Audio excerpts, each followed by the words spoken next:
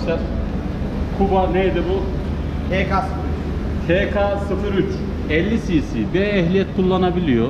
Trafikte sigorta derdi yok, muayene derdi yok. Suya sabuna dokunmadan sinek gibi gidiyor. Tam şu an kriz ortamında bilinecek motor. Yani bugün bir motor sigortası olmuş 4 milyar, bir muayene olmuş 1 milyar. Efendime söyleyeyim. Bir ehliyet olmuş 5000 lira. Al. Suya sabuna dokunmadan ne kullanabilirim? Alıyorsun 50 cc, yapıyorsun 200 cc, biniyorsun. ya böyle bir dünya var yani. Yok. Aynen usta.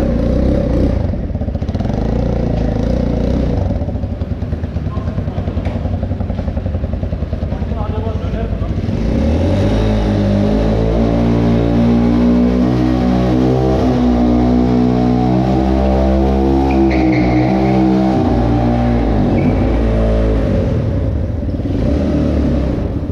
Lastik de yanıyor ha. Arkadaşlar biz deniyoruz siz denemeyin. Yani siz daha güzel denersiniz.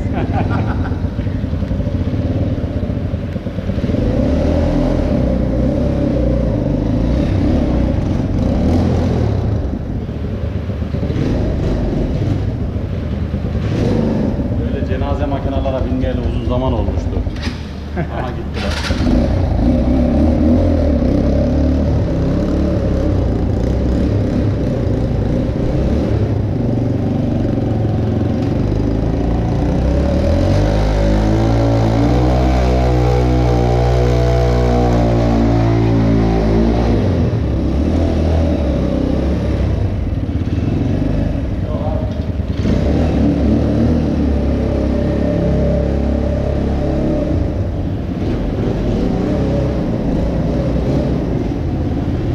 Şimdi şöyle bir durum var. Makine 50 cc ama yani güç var fakat e, şase aerodinamik e, bizim yapacağımız hareketlere müsait. Binersin, sürdürek binersin. Ehliyet yok. E, efendime söyleyeyim, sigorta yok. Muayene derdi yok. Ne güzel İstanbul. Muayene var mı? Muayene var. Şimdi arkadaşlar bu motor 180-200 cc'ye çevrilmiş. Bunu çeviren bir usta değil yani. Bunu çeviren normal bir birici motoru alıyor, internete giriyor, YouTube'dan onu bunu bizi sağa sola izleyerek motoru söküyor, 200 cc yapıyor. 200 cc yaptıktan sonra da bize kontrole geliyor. Ustam bunda bir anormallik var mı diye geldi. Biz de bu arada videosunu çekelim istedik. Basıyoruz. Tek marşta çalışıyor. Yani bunda bir anormallik değil. Bunun sıfırını alsam böyle tek marşta çalışmaz. yani söküp dağıttıktan sonra böyle tek marş olur. Ciddi anlamda ben Kuba'nın e, yıllar önce yetkili servisliğini, bayiliğini yaptım. Bunun kadar handikaplı bir motor görmemiştim. Yani Kuba'nın handikaplarını anlatsam roman olur. Yani sıfır motoru benzin koyup çalıştıramıyordum. Şimdi bak adam ne güzel. 200'e çevirmiş. Basıyorsun. Ne güzel İstanbul. Tabii bizim zamanımızda enjektör falan yoktu. Karbüratör kara düzenliydi. Bu da karbüratör. E nasıl yaptın sen bunu tek başta çalıştırdın? Karbüratörünü de 200'lük çevirdim. He bak. Görüyor değil mi? adam? Manifold 200'lük oldu. Gel abi, gel abi.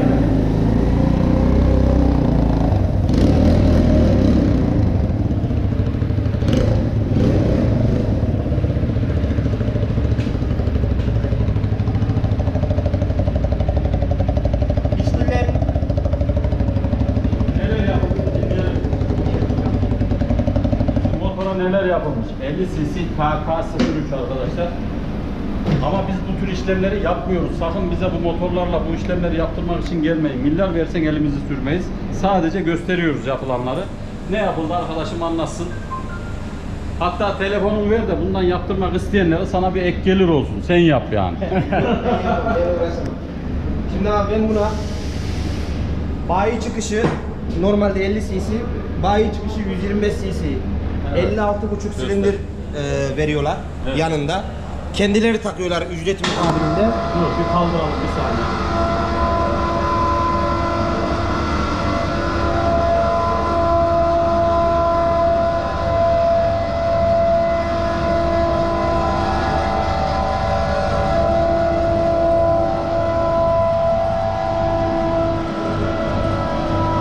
Şimdi önce motoru bir anlatalım. Motor Kuba TK03 Süper Moto diye geçiyor. 50 Arar diye geçiyor. Doğru mu? Evet. Ruhsatta 50 cc olarak geçiyor.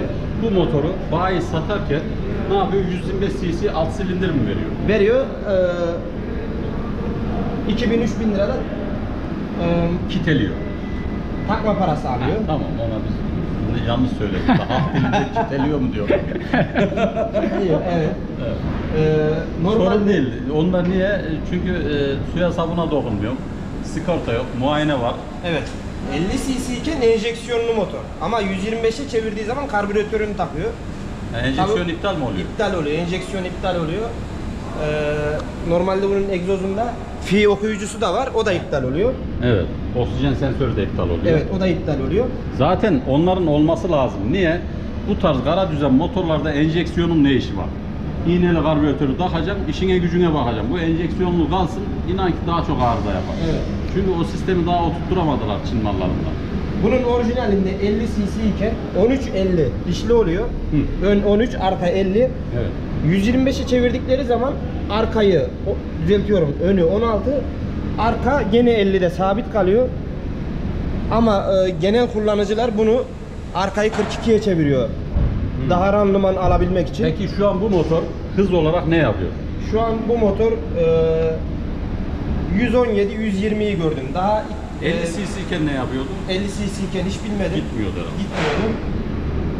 125 cc iken maksimum gördüğüm 96 idi. O zaman şöyle yapmış. Alt kartel 200 cc'ye kadar müsait bir gram Evet. takılmış. Fakat ondan sonra Euro 5, Euro 6 normlardan veya e, işte ÖTV'den, KDV'den şuradan buradan e, kurnazlık yapmak için silindirin e, kompresör oranını yani basıncını düşürüp 50 cc yapıp piyasaya sürmüşler.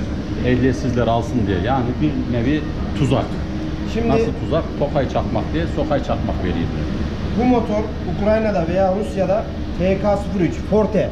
Evet. Forte'nin markası TK03 diye geçiyor. Büyük abi orayı. 200 cc. Hmm. Orijinalinde Allah. bu motorun alt takımı zaten Yalnız 200 burada cc. benim tek sıkıntım ne biliyor musun? Burayı 200 cc yap onu yap hiç sorun değil. Ana şase Türkiye'de yapıldığı için şase aerodinamiğe uygun değil. Yani şuradaki e, boyun var ya boyun bilyaları, yataklar, şuralar buralarda işte sıkıntı yaşıyoruz. Buraları düzgün yapamıyoruz arkadaşlar. Bunu yapan imalatçılara da söylüyorum. Yani şu göbeğe burayı ön tekerle arka teker kesinlikle düzgün gitmiyor. Biri şavala bakıyor, biri kavala bakıyor yani. Bilmiyorum yolda sen hissettin? Şase düzensizliği var. Ya nasıl şase düzensizliği var? Mesela bunu ben size şöyle göstereyim. Şu an motor düz dursun. Şu an düz duruyor mesela motor. Şu an düz duruyor. Ön arka tekere bir bakalım. Mesela. Şöyle baktığımız zaman bak. Ön tekerin şu iziyle arka tekerin şu iz aynı yerde değil, şura aynı yerde mesela. Bir yamukluk var. Niye yamukluk var?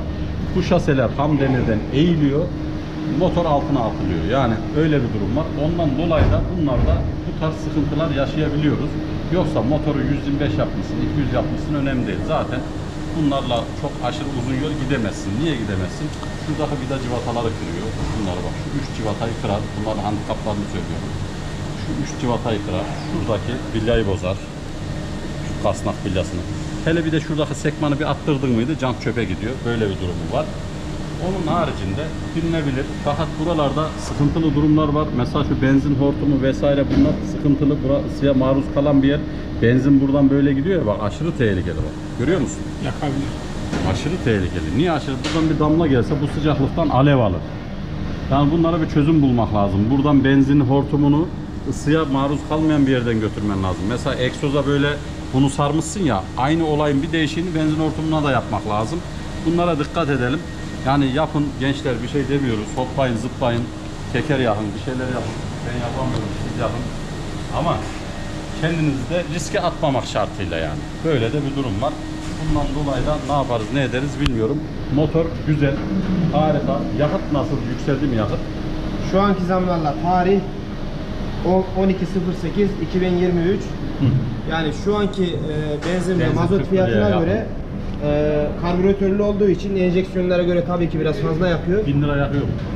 Kilometre başı 1.20. 1.20. Güzel. Evet. Yani şimdi arkadaşlar 1 lira falan para değil. Şimdiki 1 lira eskinin e, 50 kuruşu mu? Şunu da söyleyeyim ustam lafını böldüm. 125 cc iken de hemen hemen aynı yakıyordu. 180 cc iken de 125 aynı. cc iken daha fazla yakar hatta. Niye? Gidemediği için. Evet. Şimdi gidiyor en azından. Öyle Ve bir durum. bir var. de ben şahsım olarak bindiğim zaman e, çok devirli, çok süratli kullanıyorum. Buna bir de balansör koysaymıştı şuraya. Evet. Grak balansörü. Vibrasyon hiç olmazmıştı. Ben bunun e, titreşimi Kaç para bunun fiyatı? Fiyatını soranlar olacak şimdi beni rahatsız etmesinler ikide bir oraya buraya yazıp da. Arkadaşlar bu tarz motorları modifiye vesaire hızını açma ıvır zıvır hiçbir işlem yapmıyoruz. Bu video öylesine tesadüf eseri çekilen bir video. İlk defa tesadüf bir video denk geldi. Niye denk geldi? Arkadaşın arkadaşı bir mahsus bilemiyor. Uzma. Sigo bayarı için geldi. Arkadaşım bir internetten seyretmiş. Ondan dolayı biz de hani bir bakalım dedik. Sigo bayarı bile yapmadık. Niye? Gerek yok. Adam ne güzel toplamış yani. Şimdi helal olsun diyoruz. Elin kollarından mı tutuyor muyum? Böyle bunu söküp takma cesareti nereden geldi? Bu önemli bak. Bu çok önemli. Şöyle ışığa gelelim. Gel. Bu motoru sökme takma hastalığı nereden geldi? Bana mı soruyorsun? Evet. Hakan ustamız geldi. Selamünaleyküm. Aleyküm selam. Yılların eskitemedi ustamız Hakan Usta. Hoş geldin. Selamünaleyküm, hoş bulduk. Nasılsın Motor getirdi. Ne yapalım? Şimdi şöyle bir video çekiyoruz. 50 cc 180 cc'ye çevrilmiş. 180 ne? He. Sen yapıyor musun böyle bir işler? Olmaz ki. Yapmış adam işte. Silindiri 180'i takmış. Karbüratörü elektrikmiş. Sadece üst kapak kaval kavallar yok. Kur'an'ı nasıl bileceksin? İşte onu bilmiyorum. Sana bir soralım dedik. İyi denk geldin. Yani bu tesadüf doğaçlama video çekiyoruz arkadaşlar. Hakan Usta, Hızır Ustamızın oğlu. Çok eski çocukluktan tanıdık Frankı kendisi. güçlenmez. Yani yukarı güçlendirdi ama aşağıya da güçlendirmek lazım. Frankı çok sahip gelir. Frankı bloğun bir yanından çıkması lazım yani o zaman. Abi bunun alt bloğu zaten 200'e göre uygun. Alt bloğu 200'e göre uygun olabilir. Frankı önemli olan. Blok değil. Evet. Grank'ı 125 mi takmışlar 50'likte yoksa 50'de 125 çeviri var. Orijinal teknik değil ama 180'lik uymuyor diye biliyorum. 180'lik silindir çapı büyüdüğü için Grank taşımayacak bu sefer. değil mi? Aynen. İleriye dönük bu motorda ne gibi sorunlar yaşarız? Mesela sen tahmin et. Frankı patlatır. Frank gider. He, ondan sonra Tırışkay Jumbo. bak. Peki bu motora üstten niye bağlantı vermemiş bak? Yeri var. Bunu mu? Niye söktün abi onu? Geçimi kesiyor. Ha. O zaman ne olur abi? Onu söktüğü için başına ne gelir? Onu da bir anlatıverek de insanlar rahatlasın. Vitesini kesiyor yani. Bir şey diyemem ama şase motoru dayılatmış. Şase daha çok kaza, daha çok konuşacak. Şimdi titreşimi kesiyor ama motorun ömrünü azaltıyor. Daha çabuk ölüyor motor. Yani bir an önce kendine bir usta seç. Hakan Usta bakıyor musun bunlara sana bakmıyorum. sevk etsek arkadaşı referanslı göndersek? Usta benim abi. Kendim söküp takıyorum. bak ne güzel. Keşke herkes böyle olsa. Kendi söküp söküp takanlar eninde sonunda geldiği zaman nasıl bir işlem görüyor atölyelerde. Ben yapmıyorum. Ben- Almıyorum. Ben de yapmıyorum. Dükkana geldiği zaman ben almıyorum kendin yap diyorum. Heh. Benim yanıma da gelme diyorum. He, bir daha da gelme diyor. Niye? İçinden mi çıkamıyorum? Ya uğraştım ya. Her tarafta bir parçası eksik çıkıyor. İçinden çıkılmıyor değil mi? Dün Baki diye bir olan geldi. Şimdi şöyle bir şey, e, isim fazla vermeyelim de. Tamam dur anlatayım. Diye bir olan geldi. Heh. Motoru bir tane tamir etmiş, yaptıramamış. İşte parçası yok, bu yok diyor. Mahvetti bizi bak. Sonra eve gitmiş, kendisi sökmüş tesisatını. Her yerden bir kablo çekmiş. Oradan aşağı bir kablo geliyor, buradan arkaya bir Beni kablo de aramıştır kesin ha. Sonra dedim ki ya bu kablolar kim çekti? Aa ben bir hafta boyunca evde bunlar kendim yaptım bu motoru. Çalıştım bu hale getirdim diyor. La oğlum bir hafta boyunca çektim. Tesisatla bu motoru yürür mü? Yürütmüş adam. altında alev alısın ya nasıl diyeyim ya? Ha bunda da bak gel. Benzine bak. Bu, bu böyle bir hortum burada bura ısıya maruz kalıyor. Bir damlasa bu da gider abi. Bir de kornanın orada kısa devre yaptı şase. Kornaya bağlamış. Kornayı da silindire vermiş. Niye öyle bir güzellik yapmış? Şimdi arkadaşlar e, konudan konuya geçtik ama iyi denk geldi. Hakan Usta'yı arasak böyle müsait bulamayız. Aynen. Kendi çok yoğun bir insan ama kendi evrak kendi geldi derler ya. İyi ki videonun arasına geldi. En azından videoya bir kokteyl katmış olduk. E, kendiniz böyle uğraştığınız zaman arkadaşlar en son çare ustalara geldiğiniz zaman inanın o işi kimse almaz, yapılmaz. Biz bu tür işlerle uğraşmıyoruz. Çünkü e, zaman alıyor, vakit alıyor ve düzen tutmuyor. Düzen tutmayacağını önceden tahmin ettiğimiz için ben mesela böyle bir işlem almıyorum. 180'lik, 200'lük, 50'liği 80'e çevirme falan siz alıyor musunuz? Yok ben de almıyorum. Bir bunlar, de artı yazılı bir şey. Yazılı mı bile yok. Heh, bunlar da önemli. Aşkın Bey hoş geldiniz. Evet. Şeker attık mı? Şekersiz. Karıştırma. Yine PCX sökeceğiz desene. Şekersiz. Ne şekersiz sen daha şekersiz. Evet arkadaşlar yine bir videonun sonuna yaklaştık. Kuba PK03 50 cc 180 cc oldu. Evet Hakan Ustam var mı takipçilerimize bir şey diyor musun? Diyor bir şey demiyorum. Herkese selam olsun. Herkes kendisine iyi baksın. Bazı motorlarını söküp takmasınlar. Tamirciyi yormasınlar. Tek isteğim o. Evet. Bir de ne yapıldığını söylesinler değil mi? Yani. Yani motora daha önce ne yapıldığını söylemiyorlar o da Söyle- çok uğraştırıyor. Söylemiyorlar bir de uğraştırıyorlar bize. Onu niye söylemiyorlar acaba? Sen usta değil misin? Bil gibisine mi? Herhalde bak şey yaptırdım. Hayatta kendim uğraştığını söylemiyor. Yapsın diye uğraşıyor galiba. ben de anlamıyorum. Söylemiyor hiçbir şey. ya abi de bir bak bir bakıyor. Her yeri sökmüş. Anasını motoru. Böyle de bir durum var arkadaşlar. Hoşça kalın, dostça kalın.